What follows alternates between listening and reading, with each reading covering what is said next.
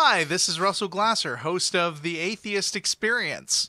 You know, The Atheist Experience is made possible by volunteers and the generous support of viewers like you. If the promotion of positive atheist culture and separation of church and state are values that you hold, please consider contributing by becoming an ACA member or visiting our product page at Hi, this is Russell evolvefish.com under the partner The tab. Atheist Thank you. Experience. You know, the Atheist Experience is made possible by volunteers and the generous support of viewers like you. If the promotion of positive atheist culture and separation of church and state are values that you hold, please consider contributing by becoming an ACA member or visiting our product page at Hi, this is Russell Glasser, evolvefish.com under the partner The tab. Atheist Thank you. You know, the Atheist Experience is made possible by volunteers and If the promotion of uh, positive ouch. Loud. Man, I don't like this sound box. Hello. It works too well. wow, I'm hearing my own voice in my ears still, and I'm hearing myself coming through really choppy through the speakers. So this is just a massive confusion. But welcome to the Atheist Experience, everybody. Uh, today is Sunday, October 18th, 2015. I'm your host, Russell Glasser, and I'm here live today with Tracie Harris. Howdy. Uh, let's see. We are a live calling public access television show based in Austin, Texas, dedicated to promoting positive atheism and the separation of church and state. Uh, we are, I said it again, call in public access show. We are broadcasting live from the ACA studios uh, in, in uh, Austin. And actually, today's show is kind of special because this is the first day that we've actually got three cameras. Count them. Watch this. Camera one. Come on. Do it. Maybe that is camera one. Uh, uh, camera two? Is that camera two? camera three? We've got three whole cameras. Check it out. Okay, back to camera one again. I don't control this stuff, so I'm not going to be doing that ever again. But uh, Clearly, you don't control it. Yes. um, I also don't control the phone lines, which is still a change from our original location. But uh, I'm told that someday we'll be dealing with a with a new solution. So as always, we appreciate your patience. Uh, we're available through live streaming at ustream.tv. The official Atheist Experience website is www.atheist-experience.com. You can provide feedback by commenting on our show blog, freethoughtblogs.com slash axp, or you can email us at tv at atheist-community.org. If you enjoy this show, please check out our related podcast, The Non-Prophets, currently airing on the first and third Wednesdays of the month. You can find links at the Atheist Experience website, and the next Non-Prophets will be recorded on October 21st, when I believe the hosts will be Jeff Dee as usual, Denis Loubet as usual, and Naomi Marmel taking my place, because I got uh, a thing to celebrate that night. As always, the cast and crew of the Atheist Experience will be going to dinner after the show at the Threadgills North location, 6416 North Lamar, arriving around 6 p.m. And I'm just going to fiddle with my. Oh, Uh oh. okay. Something's improved there. But uh, how are you today, Tracie? I'm doing very well, thank you. And uh, I guess I can keep talking long enough for you to keep fiddling with your thing. Um, usually at this point, you would say, Hey, do you have a topic today? Hey, do you have a topic today? And I would say, Well, not a big one, but I did see something that I found interesting recently that I Oh, wanted to share. Uh, while you talk about that, we're going to queue up Brandon in Orlando. Sounds good. Uh, and Brandon, if you don't know the drill yet, you're going to be on the air for a minute, but when when we call you, then you're going to be actually ready to talk. That's right. Yeah, So- it's that's another thing we want to fix. okay. Well, I dig Netflix. Like I watch a lot of Netflix, and not yet, Brandon. Hang on. and um, and chill. Sorry.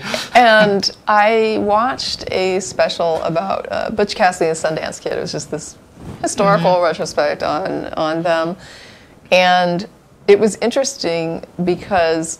I I actually learned some things. It's funny because you know you hear the names and They they're weren't famous people, outlaws. right? That's a movie. Yeah, no. Are you kidding? No. Okay. Yes, it was a movie about Western outlaws. All right. Okay. No, they, they were they were real I Western. thought they were fictional characters, maybe. No, they're- they're real that's the Paul. Newman and uh, wait. No, they were gun. They were Okay. well. Uh, they weren't gunned down. It was that was one of the things I learned was interesting about it. In the Um, movie, they were. Spoiler. yeah. Well, it's an old film, so hopefully Yeah. there's got to be a time limit on spoilers. right? I mean, but anyway, in this documentary, there were a lot of things I didn't know. It's like I knew they were outlaws, I knew train robberies and things like that, but I really didn't understand like what happened later in life with them. And apparently they moved to, I guess, Argentina and spent some time in other countries like neighboring Argentinian countries. And uh, one of the things that happened was they were finally cornered and um, they had a shootout with lawmen and or townspeople and uh, it was like this big long all night ugly thing. And then in the morning when there was no activity they went into the uh, into the cabin or the house where they were hole up and it turned out that they had uh, it appeared that they had killed themselves. So in the end, they buried them in unmarked graves, and they said that almost immediately there began to be reports that they weren't killed and that they were still free and running around, and that Butch Cassidy and Sundance Kid were still alive and well and kicking, and that it was not true that they had been killed. And I thought, how interesting is this that people talk about, oh, you, you know, you couldn't ever get these myths that would grow out of something so fast, you know, that uh, when you have a, an issue like with Jesus and the resurrection, and they're like, oh, the idea that, you know, these myths would grow out of just, you know, 40, 50, 60 years, um, and that's not something that could happen. And I'm like, yeah, it, it can happen. And, you know, it happened with, uh, with these two. And, and somebody else was like, yeah, look at all the Elvis reports that we get, right? Like people that have seen Elvis. But it, it was specifically interesting to me that almost, they said it was almost immediately that people began to question whether or not um, they had actually been killed and to actually claim that they were still alive. Hmm. Of course, people always do that when someone gets killed, right? I mean, Elvis.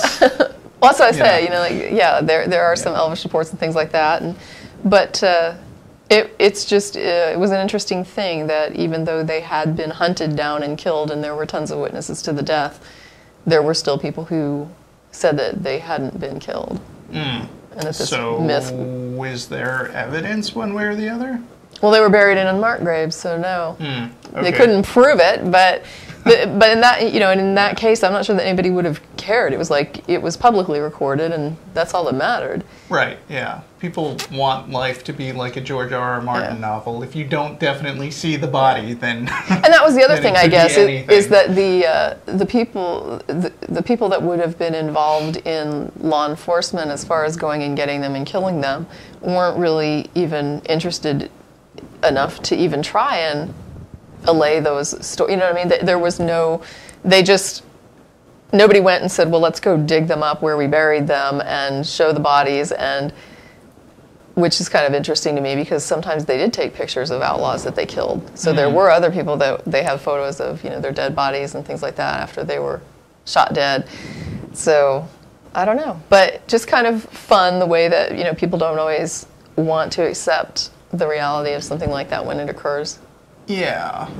Um, I don't know. You can't know for sure, I guess, but uh, this isn't. uh, I don't know. To me, the the, what, the alive or dead status of a particular pair of outlaws like doesn't seem important enough to warrant. Well, like- especially like with knowing the answer for sure. Yeah, Like, these this particular pair, um, I guess they they had uh, quite the the reputation. People were kind of supportive of them stateside. Like people liked them, actually. people thought Andy Kaufman was alive. like a few years ago was supposed to be the the anniversary of the, or like supposedly the day that he somehow predicted Yeah. that he would show up again. Have you seen uh, the Jim Carrey biopic?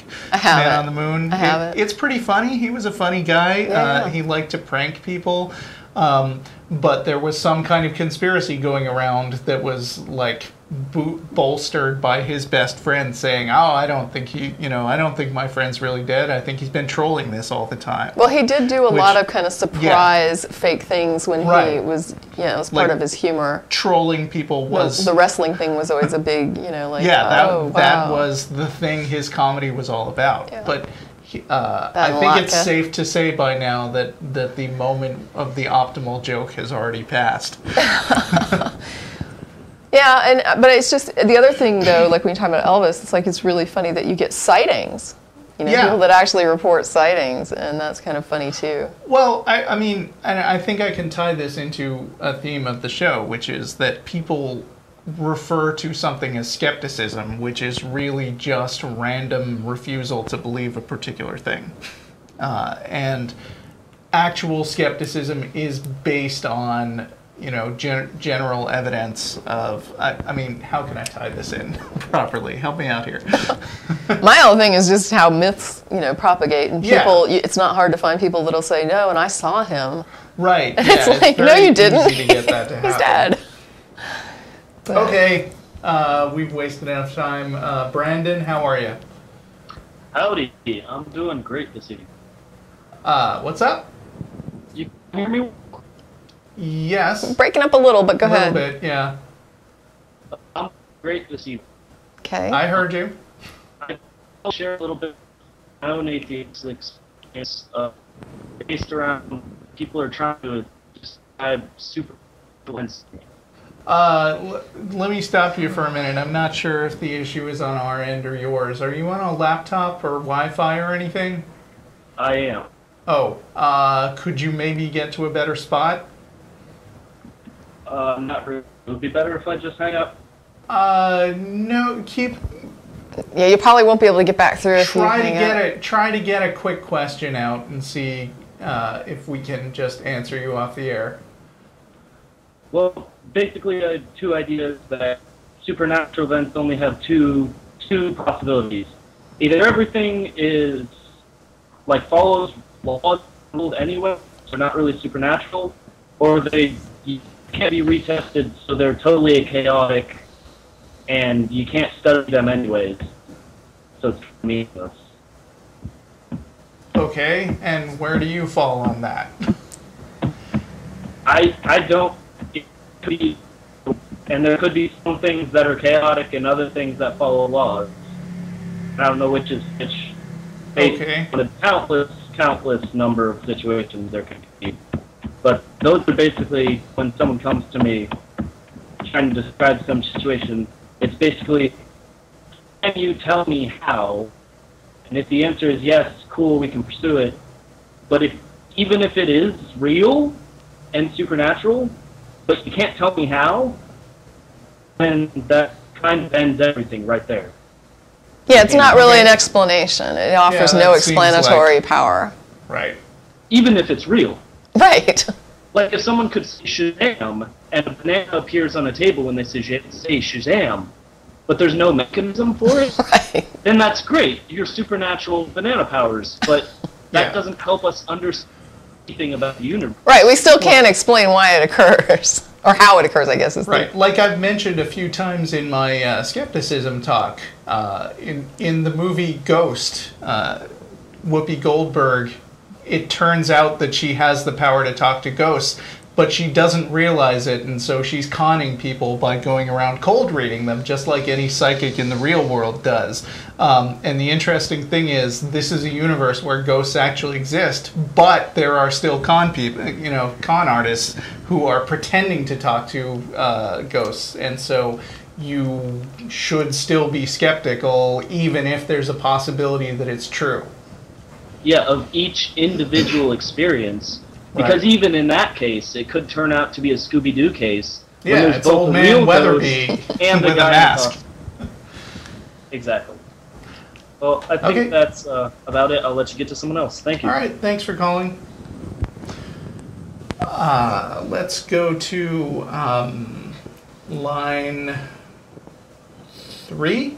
And um, I'm sorry, I tried to text John, but I'm passing on line two today. Um, Uh, okay, so we got Keith in College Station. Hang on for just a minute. Uh, what else is going on in the world right now? Well, Westboro Baptist Church has decided to picket Kim Davis. What? Why would they do that?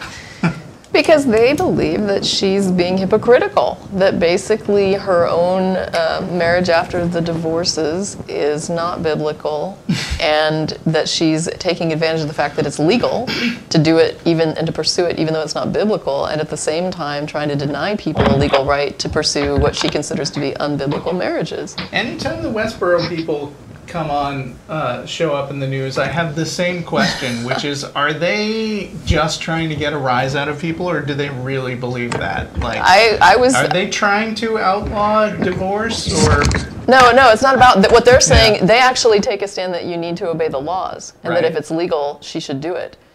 And so what they're saying is, if she wants to take advantage of those laws to have an unbiblical marriage and say that she doesn't have to follow the Bible as a Christian, she can go forward and pursue this type of a marriage that she has because it, even though it's unscriptural but it's legal, they're you're saying telling me that the Westboro Baptist Church is for Kim Davis granting gay marriage?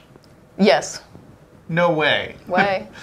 Okay. They're Wow. actually Now saying that because that's the law. And then don't get me wrong, they'll be the first ones to start picketing the laws about gay marriage. But Yeah. at the same time, what they're saying is that as an officer of the court, you have to follow the law and grant these, and you're being a hypocrite to take advantage of the fact that it's legal but non scriptural and do it yourself, and then ta tell somebody else that they can't.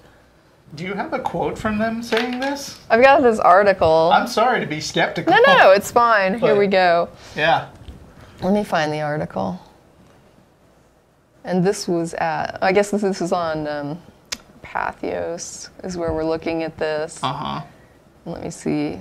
No, and it was, yeah, this is um, from an article. I can't blow it up, but I can, I can read the Oh, Enhance. tiny text. Enhance. I don't know how, but but I did read it, which was painful because it is little, but it's like a Yeah, little okay. newspaper clipping, and Alright. it says, um, Why don't we try to pull the, that up like while we're on with the next caller? Okay, And then- I've got uh, it. I mean, I can, but it's just like they say. Uh, let's see. God Almighty put a spotlight. This is the. I guess this is a news release from Westboro. Uh-huh. God Almighty put a spotlight upon the proud, self-righteous hypocrites that think the same-sex marriage sin is worse than their adultery sin. As it happened, the Supreme Court of the United States, fulfilling their destiny, made same sex marriage the law of the land. The duty of all mankind is to obey the laws of God and the laws of man. Enter Kim Davis. Okay. Rowan- I, I mean, okay, I got it. okay. Is this isn't this is definitely not the onion or anything like that? Well, they've got God hates adultery. Let's see. Yeah, this yeah. is they're saying it's the the release, I guess. Westboro Baptist Chronicles or whatever. that is really fascinating. Uh, Keith, how are you doing? Howdy, how are you guys doing? hey. Howdy.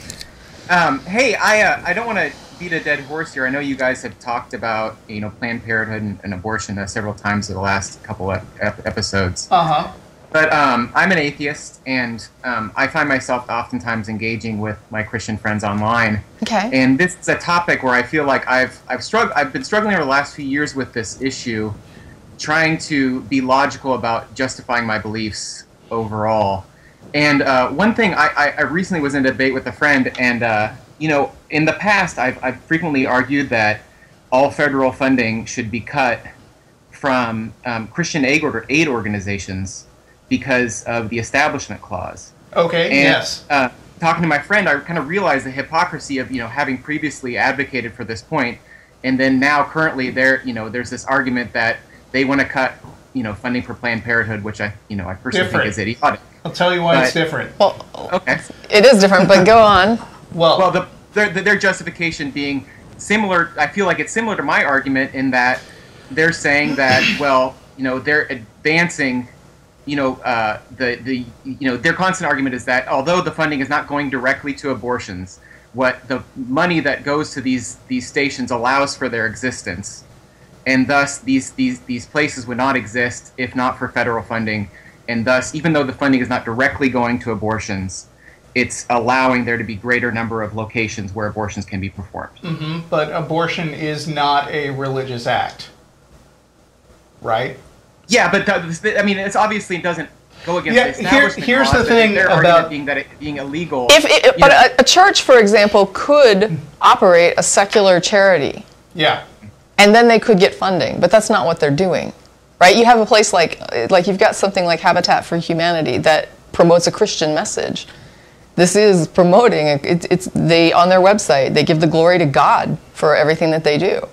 yeah. So, I mean, if you're going to integrate your religion with your charity, then you've made that step to make it the same. Yeah, but I mean, let me also draw a line, like, because I know a lot of people who are otherwise generally um, in favor of separation of church and state uh, talk like, well, you know, this federal funding of abortion is a special case and we should exempt that. I want to ask you how you feel about, let's say, uh, public schools teaching evolution. Well, I'm obviously for it. Yeah, or I So- am for it. Yeah. So uh, I think a Christian would take a similar line of argumentation and say, "Hey, this is public money going into th- into something that offends me personally. Uh, you know that that offends my religion, and because of the separation of church and state, uh, the state should not be promoting something that is against my religion." There's a problem with that argument, right? Yeah, but like let's see, even even without like a religious justification, where they would be arguing that you know we've agreed with by legal matters that the federal government's not going to subsidize abortions, and that this is a back way of subsidizing it, even though you know their reasoning might Why- be. Well, yeah, my question Why would be why, the federal yeah, government why wouldn't subsidize it be? What's I, the I problem totally with agree, it? but I, I feel like you know the I'm trying to like justify my argument for why, you know, if we if like we have to take into account the fact that it is illegal, although I don't think that it should be Wait, what's illegal? For the federal government to subsidize abortions. It's not. Why should it be? They just don't. okay. There's no law against. If they wanted to do it, they can do it. Right. I- I mean, it's not existence that- Planned Parenthood funding for abortion aren't, Wait, aren't what? subsidized. What? I can hear you. Oh, sorry. Isn't it currently in place that Planned that funding for Planned Parenthood exists so that must to abortions?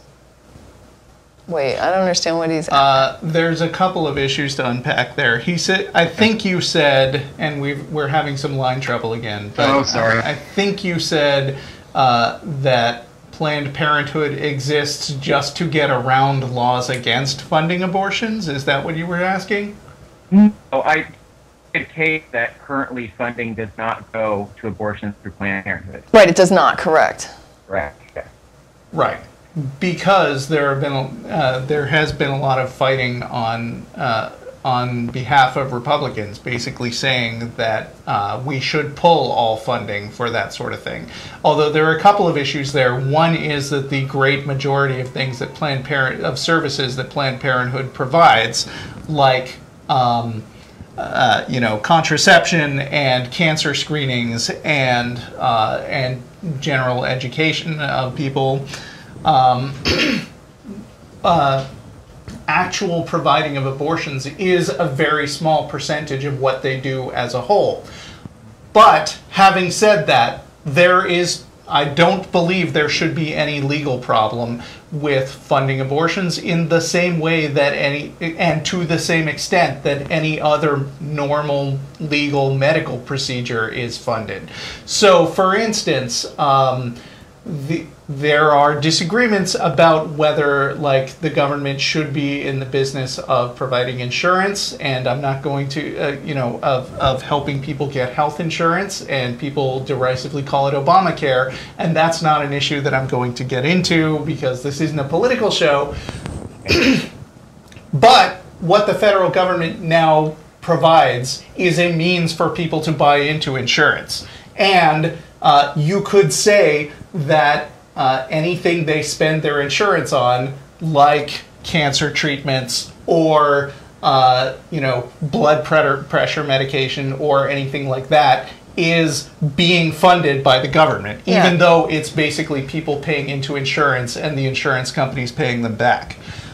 But part of the controversy that's come up in the last few years is I particularly don't like abortion, so Right. I want to stop people on those programs from using their insurance money to pay for abortions. And I think it's nonsense that they're cutting out a special exemption for that. Yeah, nobody asks me whether or not, you know, when I send my tax money in, if there's certain things I don't support, nobody asks me if I would like to, you know, not have my money go to that. Right. But, but I think, you know, important, what's important to me is if you had a church, let's say we have, you know, Jim's Church of Christ on the corner, and they decide there's like people within that church, and they're like, we want to operate a food bank. And so they start a food bank. Mm-hmm. I don't think that anybody's going to argue that public funding can't go to the food bank. I think the argument would be if you're going to call it Jim's Church of Christ Food Bank, then there's a problem. I mean, we we're not supposed to be funding anything. We're not supposed to be eh, doing anything that promotes an establishment of religion. And if they want to do a charity and keep it secular, but it just happens to be something like, I mean, just like with Catholic hospitals, right? They have public hospitals. I don't know what the, the status is, but I would be stunned if they don't get some kind of government subsidy for these private hospitals for certain things. I mean, I have to look it up, but the issue for me is when you start integrating your religion into that effort, it's no longer like a now you've made it not secular, and now we can't support that with public funding. It's not that I would would withhold public funding from a secular charitable effort just because a church instituted that. But if mm-hmm. they're going to do like a Catholic hospital and say, and we're going to deny people certain types of medical care because of our religious perspectives, well, that's not to me that that at that point you've got a religious hospital. This is part of your church. And you're promoting your religion through this church by actually crafting what care is and isn't offered based on your religious views, not on medical views. And I think the problem is that a lot of these, like for example, they want to do the, um, what do you call it, the, the vouchers, right, the school vouchers. And they want those to go to private schools. And there are people saying they can go to religious schools. And I'm like, wait a minute, no. No, the moment you start to make that school religious, I have an issue with this. And you, you, you, we, if we're, I don't know, that to me is a big problem. It's not that, I don't ever argue that if I give money to your food bank on the corner, then you're going to be able to use funds that you raise through donations to do other things and that I'm somehow therefore inadvertently funding your church. I've never argued that. Like that's just weird to me. I mean, are you do do people argue that? I feel like I, I mean, I, I could see that argument existing where, wherein you say, you know, you are using this as a base of operations, and though your primary objective, you know, so that you say is to provide needs for the public, you're also using this location as a platform for advancing your religion. And if they are, then that's wrong. Abortion Yeah. is not a religious position. Right. But, but but imagine Matt, like, like, if, if, if okay, sorry, the, sorry, the Russell, fact, what? I'm sorry. used I was just going to say that. Um, uh, what if a law was it to be established that said that no federal funding could go to support uh, abortions? Would then uh, the would same the- logic exist that Planned Parenthood could no longer receive federal funding? Would would that would that occur? What would be the justification for that law, given that abortion has been stated by the Supreme Court to be legal?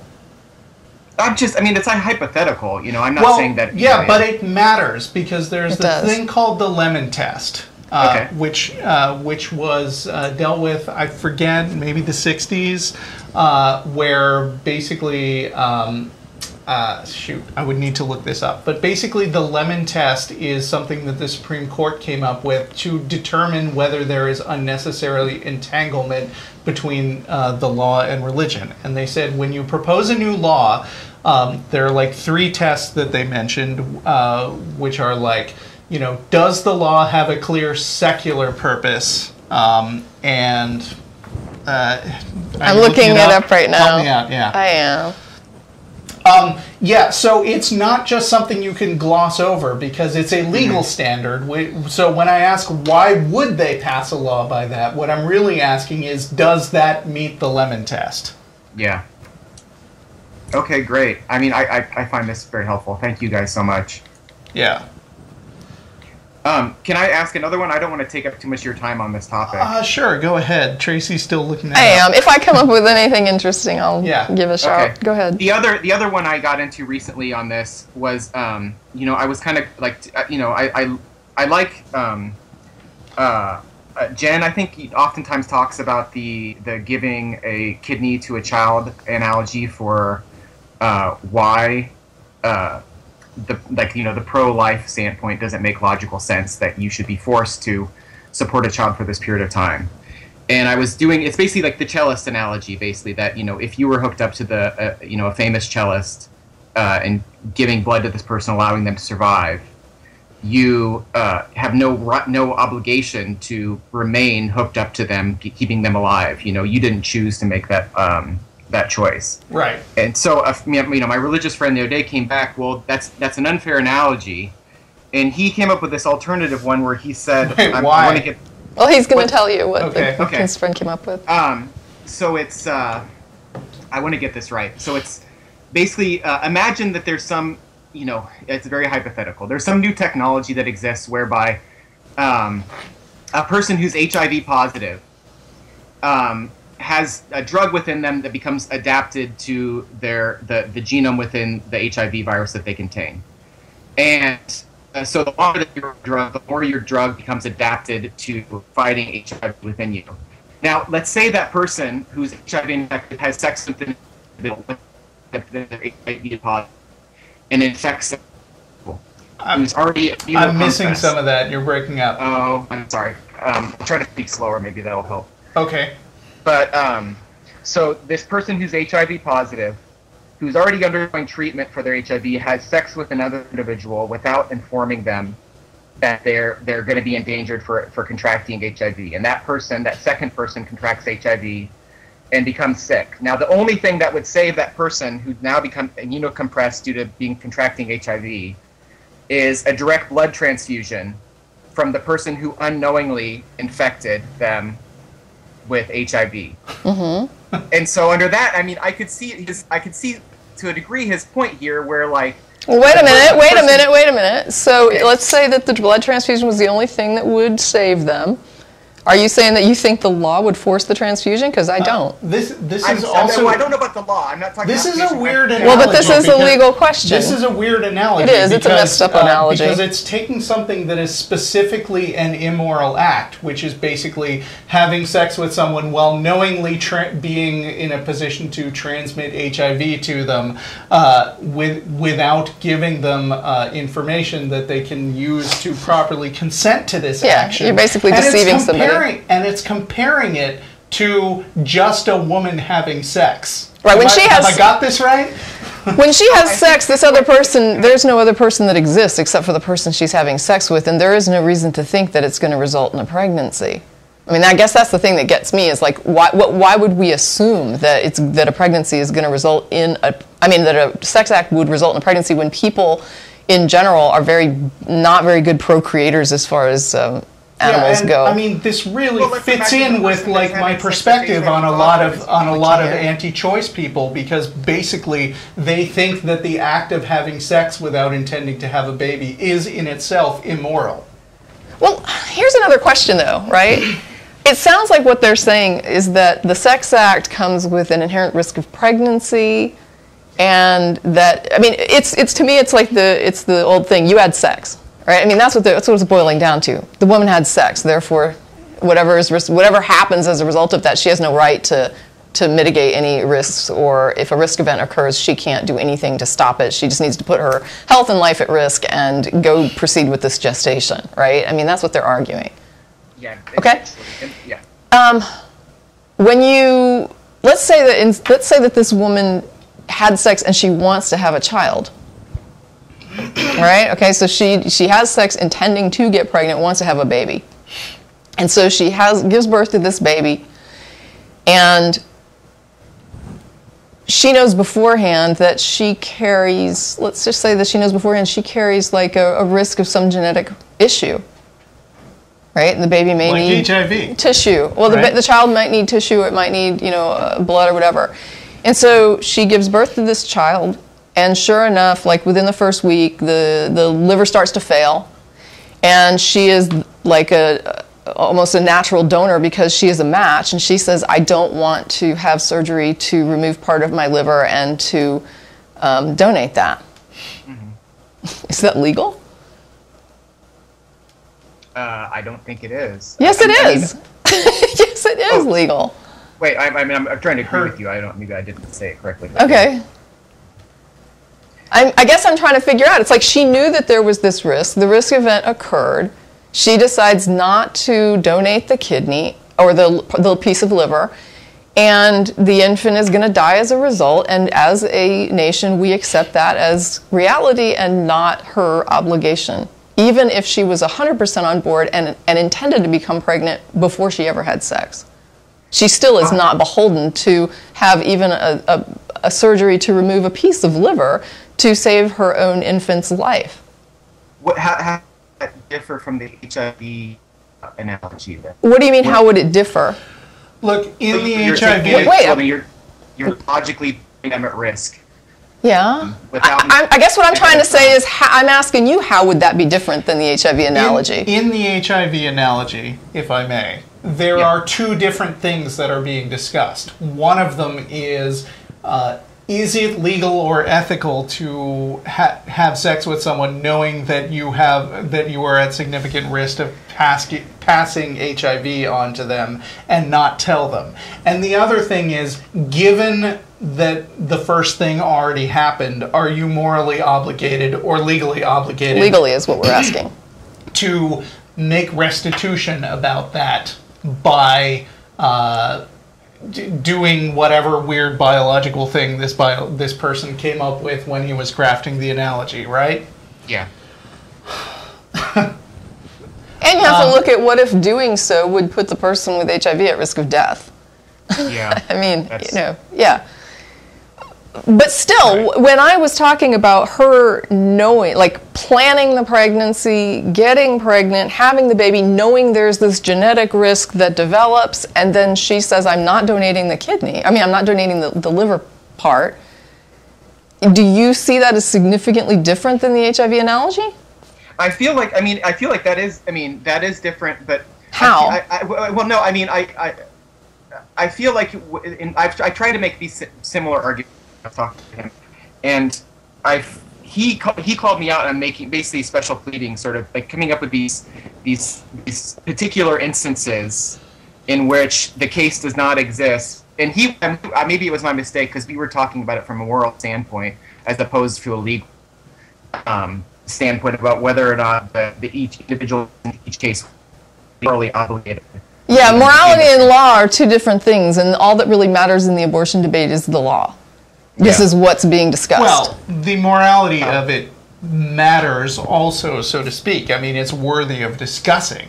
Um, yeah. if you want to discuss it, but it's not going to. I mean, what laws are not based on morality, and morality is not based on the law. so, I mean, we. I, I mean, I am serious here that that if your friend was trying to discuss this with me, I would not focus on the aftermath. I would focus on why are you comparing a woman who who is just having sex without intending to have a baby to a person who is knowingly making somebody else contract HIV because one of them is super immoral. Do you think that the other one is comparable to that or not? Yeah, that a woman that has sex is in that position, that she is automatically just, you know, evil. But I still am wondering when I do the analogy with the, the infant that needs the liver part in a week, do you, does that in your head align to that HIV analogy? Yeah, and I, I don't think that there would be a legal obligation, but Well, I can know there's not. I mean, I don't Yeah, not think it. I know it's not a legal obligation for her to do that. And so if I- that's I, I, acknowledge that, the, but that I, I acknowledge that. Although I don't think, I personally don't believe that she should have to give the the the The liver. child the liver. But I, I do think that there is a, it's questionable morality in the decision. Like it's not like I think that she has to or she should be forced to. But the discussion we were saying what we're having is about whether or not that sort of situation would still be moral. Yeah, this is a, this is simply a physical reality that this is how the child was born. Yeah, she knows she carries this risk, and the risk event occurred, and so she has a baby that's not going to survive, and she's saying okay, and the baby is going to die a natural death. She didn't murder it, right? Mm-hmm. The baby is dying as a result of in- inadequacies of its own physiology, not because the mother was immoral. And we're not obligated to, I guess, give up our own bodies or, or something to that extreme in order to save someone from a natural death. Yeah, it's a tough one. I mean, I, I don't want to keep taking up your time on this, but um, I mean, I think that what how I, I, I that's basically what I was I was arguing, but then he came back that it's like well even even if the person that was HIV positive was taking all of these precautions, you know, they were still putting another human life at risk, It and just I- like the person oh. woman was putting another human life at risk with her decision. No, she wasn't. She was having sex. Sex has nothing. This this other person doesn't even exist, right? Does At that- the at the point she made a decision to have sex with someone, the person that that they're invoking in their analogy does not even exist. I I, I, I guess I'll have to. There isn't about it. even a person there to deceive or to lie to or to do anything wicked to. There is no person. She's simply having a decision to have sex. The pregnancy is an unintended consequence. In fact, and, and that's the other thing that I think makes me angry is that people tend to distort this as though they, they act like every sex act ends in pregnancies or ends in some kind of conception. And it's like, no, relatively few of them do. Or should, some Yeah. of them seem to think. And the uh, in in the human species, sex is mostly a social act. Okay, so we there are some species that are very good at procreating. They have sex like the the females come into heat, for example, so that they they only are receptive to sex acts when they're in a situation where they can conceive. Human beings are not like that, right? We don't have that um, restriction.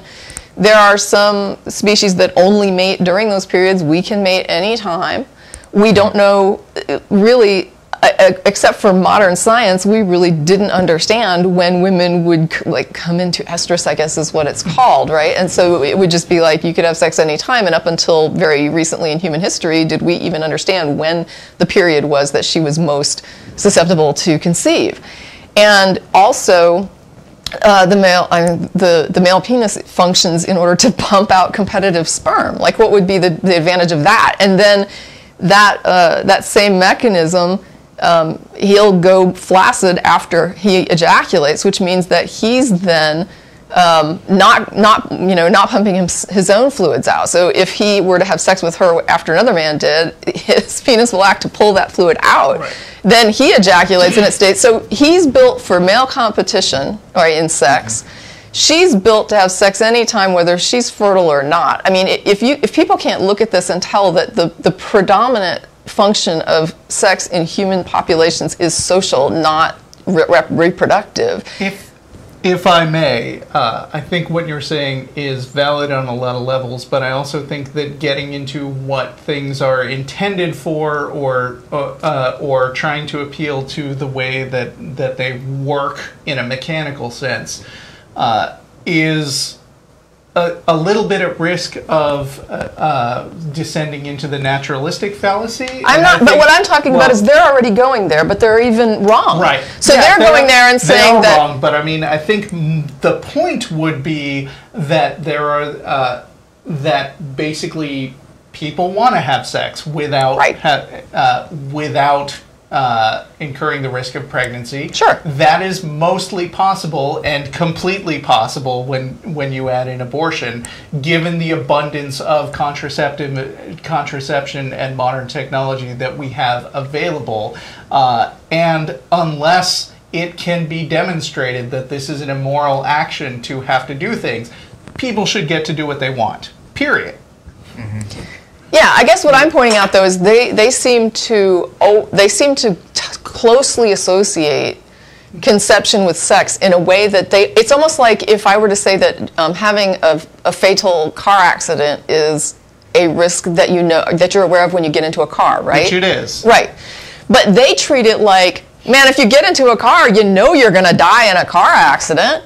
And it's like, no, that's that's not at all true. You can go your whole life trying to have a baby and never conceive. I mean, and a lot of times couples aren't really don't have a don't have any sort of physical uh, problem with conception, but they still go years and can't conceive. I mean, we're not the best procreators on, in, on the planet as far as a species. We're very bad.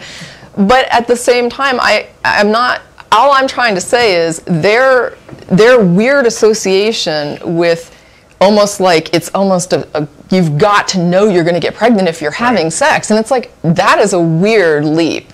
Yeah. Okay. Anyway. Well, thank you guys so much. I really, I love you. I love both you guys, and I love the show. So thank you for taking my time talking. I love you too, Keith. You heard it here first. Uh, see ya. Uh, next, we are going to take, uh, uh, yeah, line one, Dale in London, and in the meantime, I've got the lemon test up. So unless Oh, you're going good. to read it, No, uh, I brought it up. I didn't read it. So if you've read it, then go for it. All right. The lemon test uh, was uh, the result of a case in 1971 called Lemon v. Kurtzman, uh, and the court ruled unanimously in an 8-2-0 decision, and it was, uh, I believe, it had something to do with creationism in schools. Uh, don't have time to read more carefully than that, but basically. Uh, the lemon test, which is the second section in the Wikipedia article on Lemon v. Kurtzman, says uh, this, uh, the detail, the requirements for re- legislation concerning religion. Uh, the statute must okay. So number one, the statute must not result in an, an excessive government entanglement with religious affairs, where the factors of that are character and purpose of the institution benefited, nature of aid the state provides, and resulting relationship between government and religious authority. Number two, the statute must not advance nor inhibit religious practice. So, although uh, religious people might argue, oh, the fact that other people are allowed to have abortions is inhibiting my religion, it is not.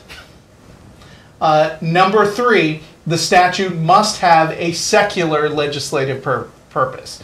And the reason we brought that up was because uh, at the beginning of the call, uh, you correctly stated that uh, religions should not get direct funding from governments unless they have. Uh, unless there is some kind of secular purpose to the func- uh, to the uh, funding, which is exactly what the Lemon Law says, uh, and that is not the same as religious people going out of their way uh, to try to outlaw something which is already legal according to the Supreme Court. Uh, you know, I'm sorry that it offends your religion, Yeah. but we can't make the laws that are just based on your religion in either direction. Yeah, and I think like when we were talking about the schools, you know, a Catholic private school named like St. Mary's private Uh-huh. school, um, that would to me would be a religious character. And then when you have courses that are about catechism, you know, I mean, you're promoting your religion. Yes, So yeah, I definitely would be like, no, there's no public funding going to that. right. Dale, are you there? Dale, Dale in London. Hello. Hmm. Do we have no Dale? I'm not hearing Dale. Uh, oh, wait, he just no, no, disappeared he's, from he's there. He's on the screen. He's just not on the line. No, well, he's on the. They Yeah. still they didn't they didn't remove him from the list. They All just uh, let Give me know. somebody. if it's not Dale, then it's going to be Brian in Colorado.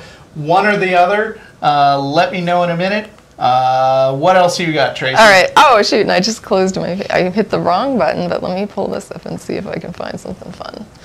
Um, what else was there? We were talking earlier about Westboro, but oh, there was the, the weird cult that beat the two teenage. Oh, yeah, boys to death. that. Yeah, that was that was not. I don't even know quite what that is. I mean, originally it was reported as like a Christian Christian counseling incident, but then the more I heard about it, the more weird it got. So Okay, this was reported on October 16th from uh, New Hartford, New York. It's coming from bigstory.ap.org. Uh, I don't know what Big Story is, but AP is a, is the actual news organization. So I'm going to assume that this it was on regular news too. I mean, the reliable, story. neutral yeah, story. This happened. Uh, a mother and father whipped their 19 year old son in church with an electrical cord and what appeared to be a belt during a deadly all night spiritual counseling session triggered by his desire to leave the fold, according to witness testimony and police Friday.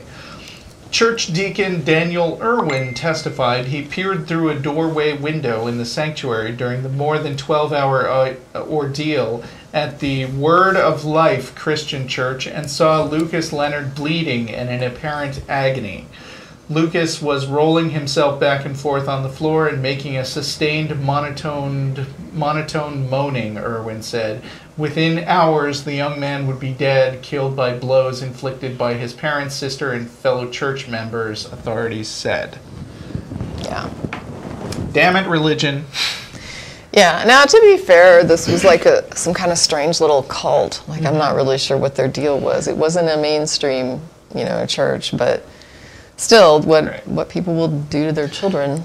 Yeah, and um, to tie this back into the previous topic, things that would be illegal under all other circumstances in any secular situation don't suddenly become legal Right. just because it's a religious person saying, "Oh, my religion requires this." Yeah, it is really interesting. There is this attitude in some. Sometimes I see this where they'll have uh, there'll be a situation where somebody wants exemption for a particular law, and it's just like you know, there's a difference between the law not persecuting you because of your religion, and the law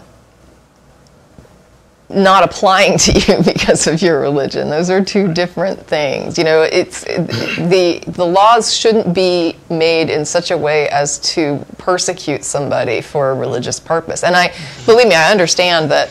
Um, you know, sometimes they're flagrant, but sometimes just like with racist laws or you know, uh, sexist laws or anything like that, you can have a situation where somebody is subversively trying to build a law that you know, and this I think is part of what you were talking about. The idea is is this law. Um, suppo- sometimes you'll put something in place that targets a particular group, and yeah, you apply it to the whole and The law population. that is specifically against one religion, and this is the important thing with the lemon test, does not have a secular purpose. It's not secular to grind down another religion, Right. whether it's Christianity or Judaism or Islam or whatever. Right, and target them in some way through the law, even if you pretend that, well, this law applies to everyone. Well, yeah, but who else is doing this except for this little religious group that you Right. want to hammer Outlaw things that are actually directly harmful. to society and Yeah. make sure everybody is is uh, subject to that law? Okay, have we got Dale in London?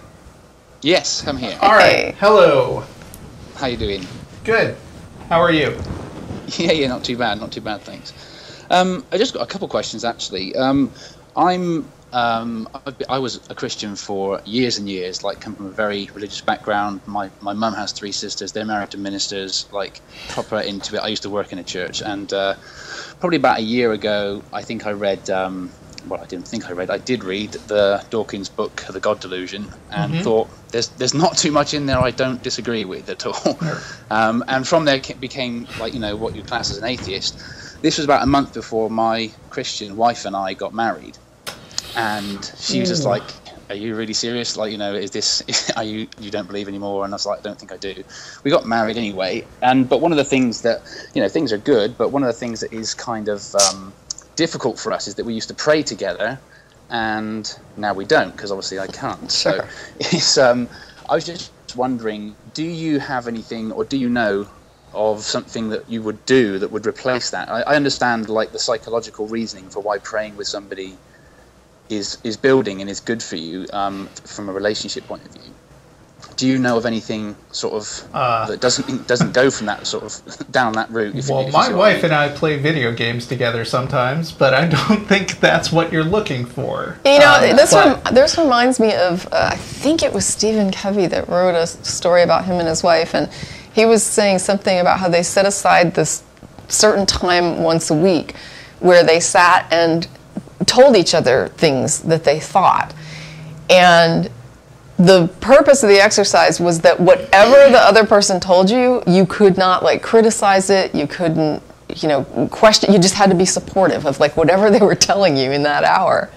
That that's a common thing that counselors will tell you to do is just, you know, sit down together and talk about what's important to you Yeah. and don't argue about it. Just listen.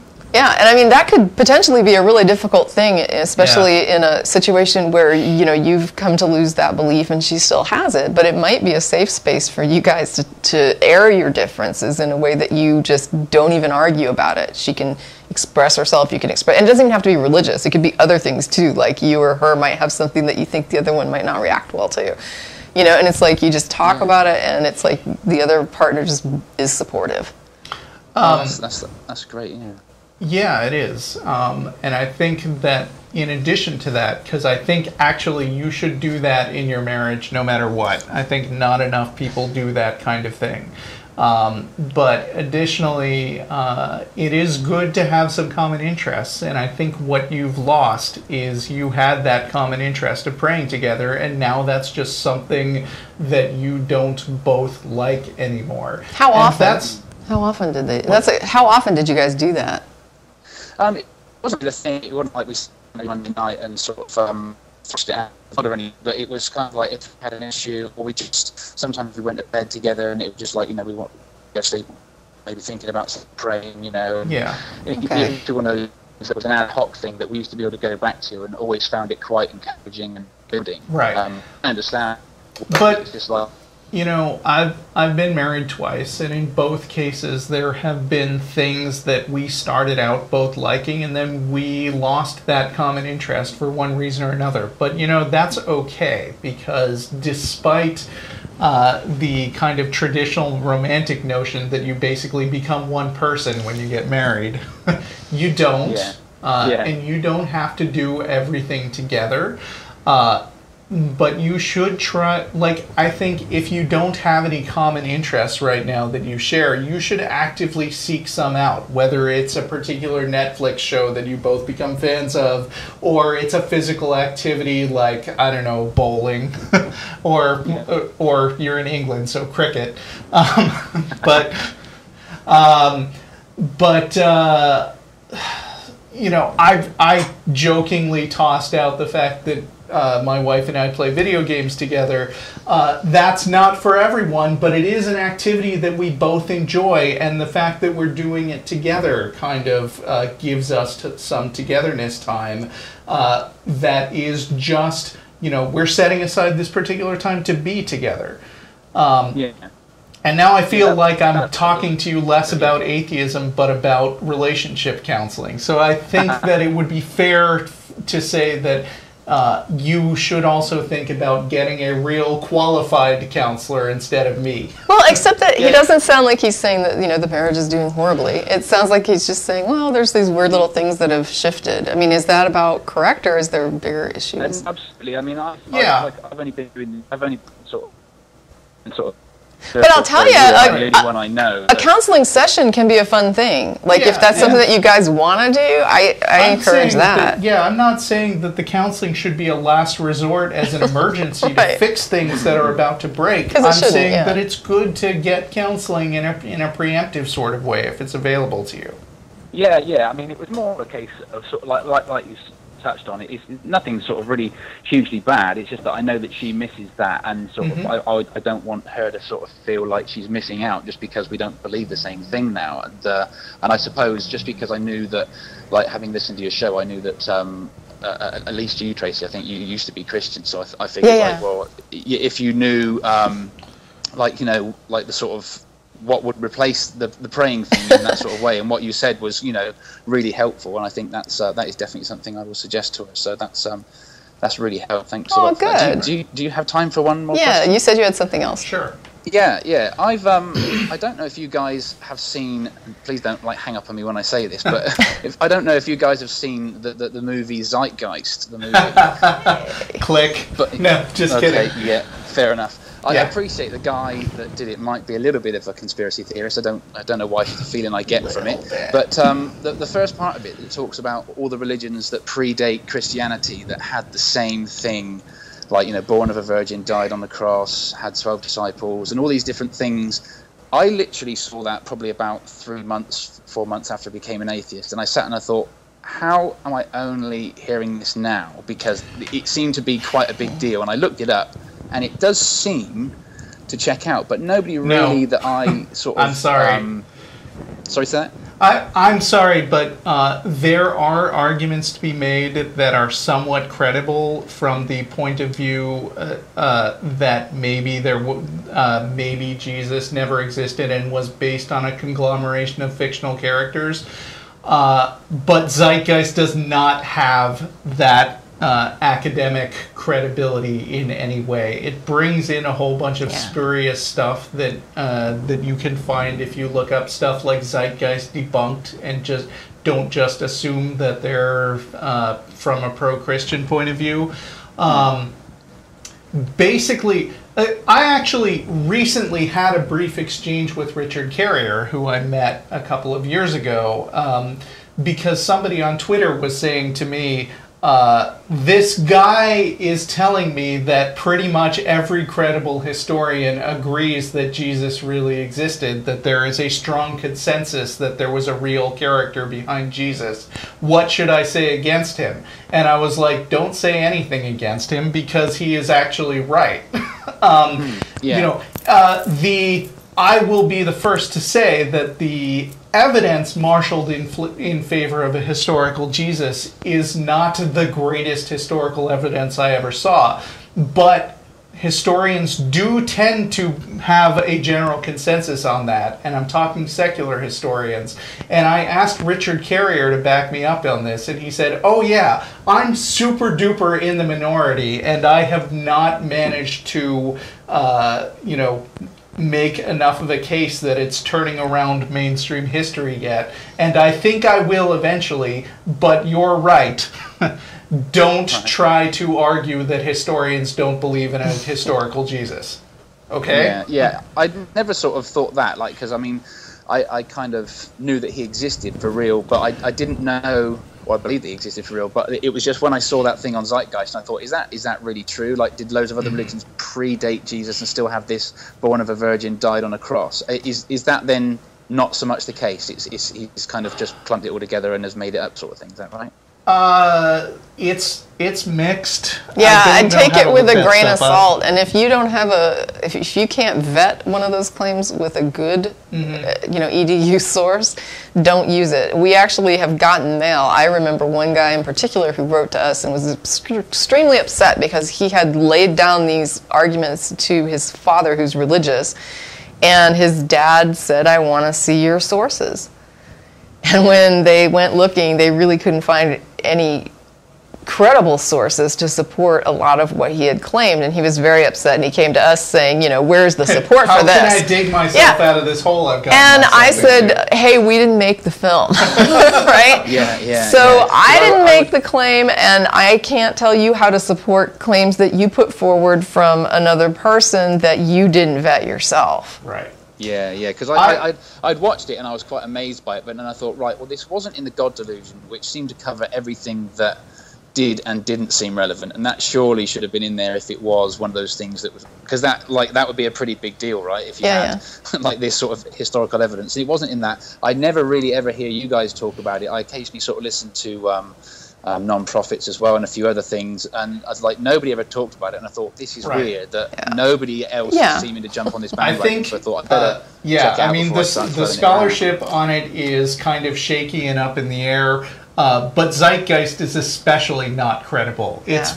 Full Yeah. of a ton of, I mean, it's got so much nonsense that it's not even worth your time to try to sort out which is real and, And which is the other. The other thing to always remember is that if something predates something else, if you have two similar ideas and one predates the other, that doesn't necessarily indicate that one influenced the other.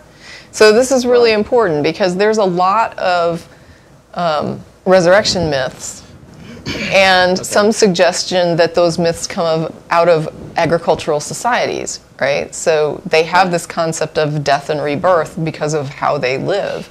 Whereas, you know, certainly there are some myths, and I wouldn't doubt resurrection myths, especially when you're looking at like Greek and Roman mythologies that do influence each other. But you've got to be able to demonstrate the connection there. It's not just enough to say, you know, hey, this reminds me of this other thing, therefore, um, it has to be reliant upon this other thing. It could just be that there is, in fact, some sort of universal between two cultures that give rise to something very similar. Yeah. Um, if you do want to read uh, a somewhat credible source about the uh, you know possible non-historicity of Jesus. I mentioned Richard Carrier, and we're not at the public access studio, so I'm totally going to say buy this book.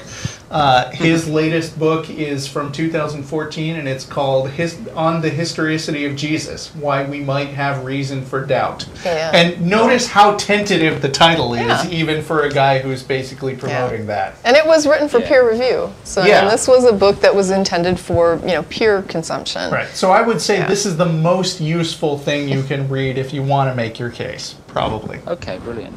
That's cool. That's cool. Thanks ever so much for that, guys. I'll let you get on with somebody else, and uh, thanks for taking my call. It's been really helpful. Thank you. Okay, thanks for calling. Thanks. Bye. Bye.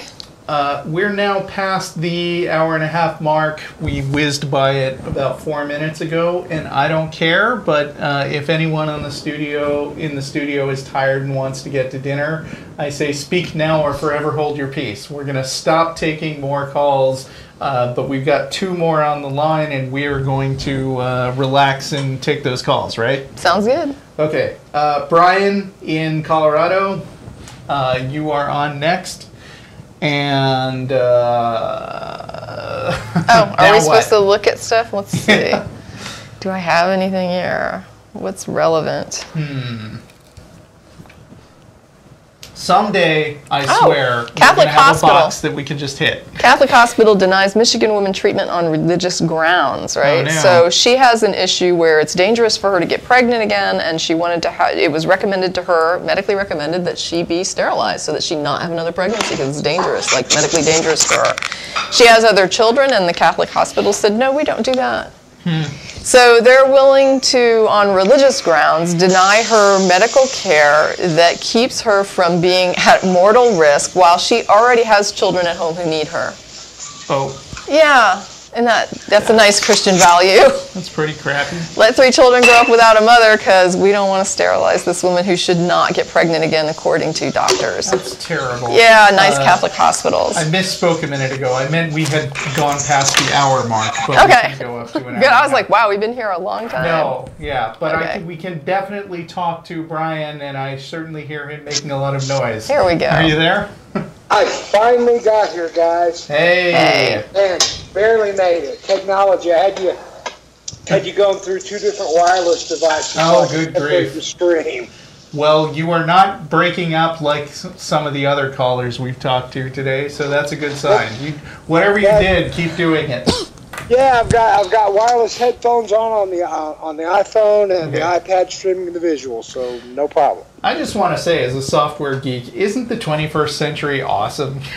Oh man, I've I've worked for Two thumbs up for the 21st all those century. guys, and I'm not in it now, but I'm glad I can still survive. It's freaking Mm-hmm. Yeah. awesome. Global warming, but well connected. Yeah, global warming. Yeah, not not so good for the circuits, but uh, up here on the mountain, it's it's nice and cool anyway. Okay. But anyway, guys, I appreciate you taking my call. First time caller, love your show. First time I've ever called in now. Actually, I'm going to say it. Brian is like, uh, from an audio standpoint, the best sounding caller we've had today. That's so pretty far. good. Well, hey, you know, we, we stream it on different things and separate it. Yep. Are that? Am I hearing birds? Yeah. Yeah, I'm on my deck at 9,700 feet in a, on top of a Colorado mountain. You lucky bastard. That's Mr. Lucky Bastard. okay. So, hey guys, I appreciate both of you. Um, and uh, I'm a relatively new atheist. I was a, um, a youth minister about three years ago. Well, that's a shift. Yeah, my frontal lobe kicked in. so basically, I, what I was interested in calling about is I've, I've watched you guys a lot, and I've, you know, read, read all the Hitchens stuff, and you know all the icon guys and what their arguments are.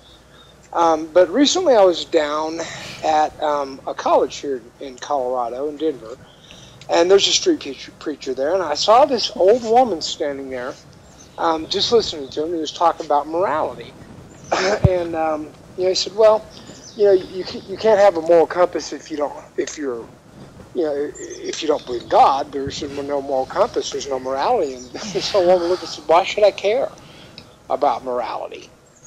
And Oh, no. Ooh. the guy, no, she it, it ended up good.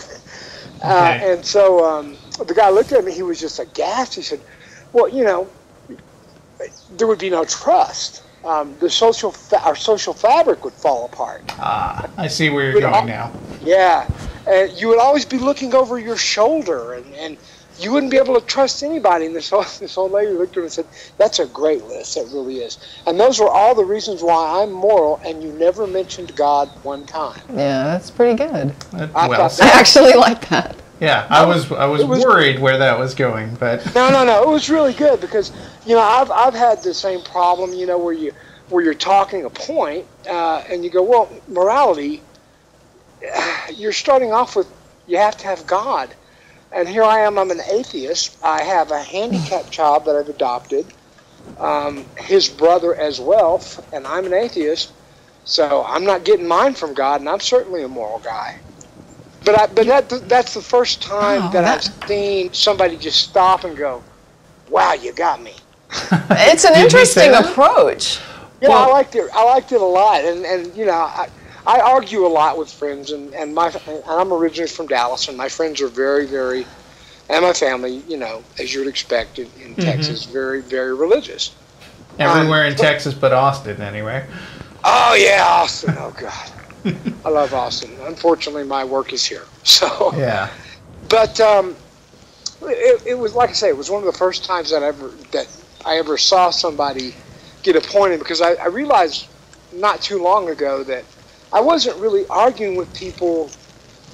Nobody was going to change because of the argument that I was making. It, it took me a while to realize that you know this is maybe for other people that might hear this, might be standing on the sidelines, but the hardcore person that you're talking to you're never going to change their mind, or I, I've at least not seen anyone do that. Sure, right. I understand what you're saying. Right. Yeah, so, but anyway, guys, uh, love your show. Um, uh, pot, you know, listen to it all the time, and keep up the good work, and look forward to hearing from you guys again. All right. Yeah, cool. Well, thank you for calling. That was very interesting, actually. Thanks. Well, Yeah. I, appreciate I it. thought I liked it, Yeah, I like it too. especially since it was a much older lady than I. and I It, you could apply it to a lot of things, actually. Like anytime somebody wants to say that God is responsible for a thing, and you say, "Well, why? You know, why should I even care? You know, Right, why, well, I why would that matter? Why- I think like I have had the so what if it wasn't? I've had the thought before that when people are going to say, well, you have to believe in God because there's no morality, they are already assuming that you have a moral framework because they are expecting you to be horrified by that. And so, exactly. um, exactly. yeah, what I and so, about this is was like one one step more than the Socratic method of questioning. It was, Right. I don't care. Now come after me and prove to me why I'm wrong. Mm-hmm. yeah, because if all they can come back with is it displeases God, Right. that's really right. not And much that- of a. That's not very compelling. No, the look on the guy's face was, you know, he was just kind of like, okay, I got this one got past me. that's nice. And you know, you, you never really see that because normally, even if it has got past them, they recognize it and just deny that it got past them. Mm-hmm. I don't know if I've ever heard that one before. That's pretty good. Yeah, I liked it. I liked All it. right. So I, I thought you guys would too. Okay. Thank All right, you. have a great one, guys. Thank You you. Uh, and the last person we've got today is Rowan in Arizona. Uh, and while we're waiting on Rowan to come on the line, I just want to say um, I just got back from a business trip in California where uh, earlier this year I also went to a convention. Uh, and I'm excited because I haven't normally been the kind of person who gets to take business trips, so this was a blast. Uh, but I also took a little time out um, to hang out with the Backyard Skeptics, which is uh, Bruce Gleason's group. Uh, and Hello. they, yeah, not yet. Give me a minute, Ron. Um, anyway, they were uh, they were super hospitable, and, and it's a great group. They're in Orange County, and more generally, I want to extend a great thanks to everybody who showed me hospitality while I was there in California. Uh, had a really wonderful time the whole week and some of the weekend. Uh, and now I can't hear anything on my speaker. Oh, I hear you now. Okay, Rowan. Oh, hi. Yes, this is Rowan. Okay. Yeah, it's nice to be on the show. Thanks for letting me talk to you. Um, I wanted to uh, just kind of point out a, uh, the way that religions uh, typically use artwork and artistry in general, like music, and general, you know, theatrics and how they use that to kind of, I guess, manipulate people. Uh, I just wanted to see that y'all recognize that, like you know how that works and all, right?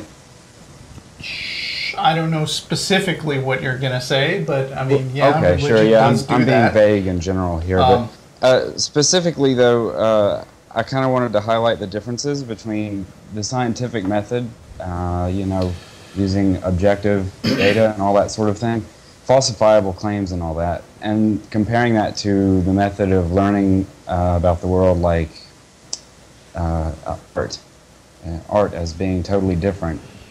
And how Are you uh, going I to? think s- that I mean, I hope you're not going to say that that art is a waste of time and uh, and shouldn't be pursued in general because it's dishonest in some way. Because I'm sure not going to agree with you on that. Oh, I, I appreciate that uh, because I'm standing right here in front of my uh, tablet as I'm drawing, and Yes. uh, you know, I, I myself am am an artist, and so I'm thinking, like, what I'm wondering what you guys think uh, is the position, uh, the best use of art uh, as a means of learning. Um, what what is good about it, uh, as opposed to like as being a different learning method than the scientific method, right? I, I have a great example I'm going to look There- up while you guys talk. Yeah, okay. I mean, there are a few things I have to say. One of them is that you seem to be coming from a place that it's necessarily wrong and bad to use emotions to get people to a certain frame of mind. Uh, and I would say that's gonna happen no matter what. That's just a part of the human experience. Uh, and I think that sometimes we as atheists do ourselves a disservice. Um, if we are trying to be Spock like in some way, if we're trying to be just emotional, uh, or excuse me, unemotional and logical, uh, and and try to make everything a learning experience or something about reasoning, I think that uh, you know appeals to emotion have their place. Uh, I think that uh, people are not only persuaded by the facts, uh, and I think that it's perfectly all right to make some kind of emotional appeal or present something really beautiful or moving uh, as a way to present your position. Now, having said that, I also think that you should back up what you believe with credible facts and evidence, but you should recognize that they are, uh, you know, they don't have to be working against each other. What do you think? Go for it, guy on the phone. Oh, okay, yeah. Well, no, I, I really do appreciate your opinion there. Um, and I, I found it fun when I was taking the uh, science classes I had to take uh, that I, w- I would end up being the guy in the team uh, doing the illustrations of like the cells and things like that. And that that was that was a fun, I guess, compelling way to learn about the world. But Yeah. um, I think that when I was in college and surrounded by other artists, I found that, uh, and this is just going to be maybe offensive to some people, but I was surrounded by people to whom data and facts really weren't really. It wasn't what they cared so much about. That it, it was really easy to stir these people uh, emotionally, and that Yeah. that emotional subjective experience was more important uh, to them than than say an objective data. You, you know what I mean? you should care about both. Uh, and I think that the people who are uh, disregarding evidence and logic and science are cheating themselves of a you know of a pleasurable experience and part of the wholeness of experience of uh, experiencing what it is to be human just as much as they would probably say that people are cheating themselves when they don't care about art. It's interesting. I Okay. did find the example, and I I, think- I, yeah. I want to apologize because while I was looking for this, I wasn't listening to the conversation. So I all right. apologize if um, any of this is is not uh, quite as direct as I had hoped. Um, this comes from this is an excerpt from Joseph Campbell that I posted actually recently, and uh, I like this because it's a great example of the different ways in which we communicate realities through symbols versus communicating realities through just pure raw data. So he's going into an interview. I'm going to let him speak for himself. I'm going to read this um, excerpt. It's from some, a section called Thou Art That. Uh, and he says, Let me begin by explaining the history of my impulse to place metaphor at the center of our exploration of Western spirituality.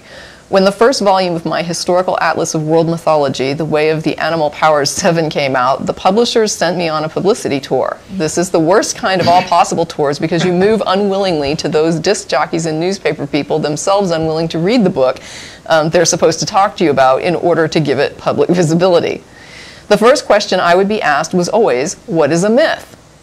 That is a fine beginning for an intelligent conversation. In one city, however, I walked into a broadcasting station for a live half hour program where the interviewer was a young, smart looking man who immediately warned me, I'm tough, I put it right to you, I've studied law. The red light went on and he began argumentatively. The word myth means a lie. Myth is a lie. So I replied with my definition of myth. No, myth is not a lie. A whole mythology is an organization of symbolic images and narratives, metaphorical of the possibilities of human experience and the fulfillment of a given culture at a given time. It's a lie, he countered. it's a metaphor. It's a lie. this went on for about 20 minutes. Around four or five minutes before the end of the program, I realized that this interviewer did not really know what a metaphor was. Oh my God. I decided to treat him as he was treating me. No, I said, I tell you it's metaphorical. You give me an example of a metaphor. He replied, You give me an example. I resisted. No, I'm asking the question this time. I had not taught school for 30 years for nothing. Quote, and I want you to give me an example of a metaphor. The interviewer was utterly baffled and even went so far as to say, Let's get in touch with some school teacher. Finally, with something like a minute and a half to go, he rose to the occasion and said, I'll try. My friend John runs very fast. People say he runs like a deer. That's a metaphor. As the last seconds ticked off That's the interview, simile. I replied, That is not the metaphor. The metaphor is John is a deer. He shot back, That is a lie. no, I said, That is a metaphor. And the show ended. what does that incident suggest about our common understanding of metaphor? Yeah. And I won't go on with it. He goes into some really great explanation about it, but the point is there's different ways of communicating something that is real. Yeah, you, you know what that lie metaphor thing reminds me of? Uh, Galaxy Quest just had its uh, 10th anniversary. What awesome movie! Uh, if you haven't seen it, then uh, damn, damn it, you should. Um, but it is a science fiction movie featuring some gullible aliens who believe that this show that's like Star Trek uh, is real. And they base their whole civilization around it. And then uh, when the captain, played by uh, Tim Allen, is finally forced to reveal uh, that he you know he was acting and it's all sets and studios all along they're really upset and their whole worldview is shattered but you know Galaxy Quest is itself a great science fiction movie, I think, and um, it really speaks a lot to the importance of having fantasy and make believe and playfulness that's not all tied to reality. And I mean, I'm a you know I'm a science fiction geek more or less. Uh, I'm a big gamer, obviously. Not everything I I enjoy for its own sake has to teach me a valuable life lesson or ultimately show me something about reality for it to be a good thing that sticks with me. Yeah, I, d- I wanted to add there is one little quote in, in, within this same article that I really like. He, he says that after the show, he says, It made me reflect that half the people in the world think that the metaphors of their religious traditions, for example, are facts. And the other half contends they are not facts at all. As a result, we have people who consider themselves believers because they accept metaphors as facts. And we have others who classify themselves as atheists because they think religious metaphors are lies. and I think it's like a, a, really interesting point that, yeah, it's, I think if we understood these metaphors as metaphors and these mythologies as mythologies and could accept them as transferring information about the culture, right? They do transfer information about the culture. This is why different cultures have different mythologies and some have similar mythologies because those cultures are similar or different. Um, and so those those stories do convey meaning as far as giving you information about the culture, but how that meaning is conveyed is very different than just pure data. Right. Yeah. No, I, I can appreciate that a lot. I, I really like this. Uh, what is it? Hero of a Thousand Faces. Is that, yeah, is that I, I actually like his interviews more than his books. I've read the book, you know, like about four of the books, and I, boy, I struggle with those books. But Yeah. he, I do have the Bill Moyers um, interviews on on DVD, and I love it. Yeah. Excellent. And So, I'm sorry, uh, Galaxy my- Quest must have must be having a 20th anniversary, not 10. Yay! Man, my, I'm uh, my thoughts on the matter were just that I'm uh, older. art was an excellent means for showing something that was more like a subjective experience as opposed to an objective one. That uh, we experience things in a very array way, and that sometimes, like Edvard Munch's *The Scream*, Mm-hmm. Oh or yeah, yeah. Mm-hmm. like that, they show how an experience feels rather than a photographic reality of what actually occurred. Yeah, and there's a reality in there. It's just about it's it's not like you said. It's not fact. Yeah. You know, it's it's a conveying real information, but it's not conveying like factual data. Interesting. All right. Well, thank you guys very much for taking my call. Sure, Okay, that was a great call. Thank you. All right. Bye bye. That was fun. It was fun. I had a good time. Uh, so that's it. That's our show. That's a wrap. We're going down to. We're going to Threadgill's North, and we're going to see you there. And thanks, Tracie. Thank I had a you. really good time on the show today. Awesome as always. Yep.